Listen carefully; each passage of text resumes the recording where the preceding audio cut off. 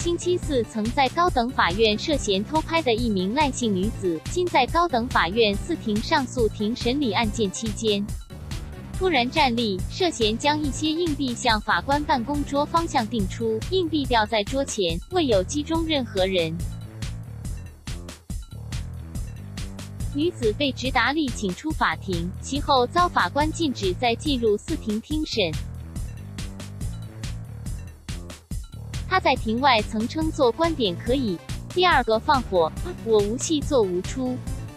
该名女子今早到高院四庭听审，该庭本在处理时任助理海事处长苏平志在二零一二年国庆夜南丫海难发生后，被裁定公职人员行为失当罪成上诉。该女子坐在进法官的旁听席第四行中间位置，身旁有直达利人员。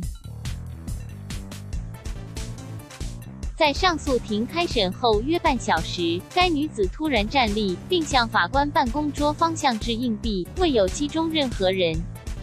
女子其后被禁止进入法庭后，仍尝试再度进入法庭，称我有权听，为遭两名直达力及数名保安员制止。法官话无逼你入去。该女子表示我听无到及她有权利听审，更多番尝试强行进入法庭，又曾指入左去戏藐视法庭阿麻，密室下地下系咪啰。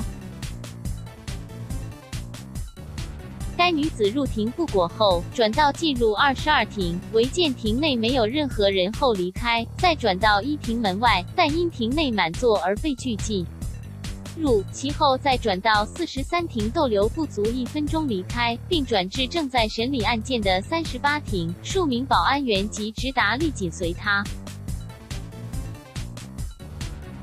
该女子进入三十八庭后不愿坐下，并大声向庭内的司法常务官龙建云称：“我想有也同你讲。”为龙官表示正在处理案件，拒绝处理他的事项。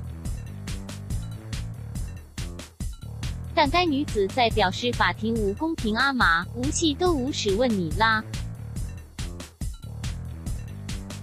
该名女子上周四在高院十一楼二十七庭处理一宗毒品案件时，开庭前在法庭内举起手机拍摄。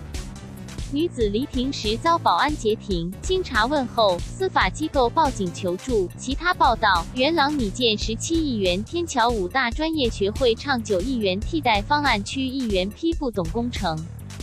其他报道：沙中线工程问题问责下台，陈帆，谁人要问责？社会自有公论。其他报道：沙中线又有问题，港铁任会展站连续强无一图，则称已修正。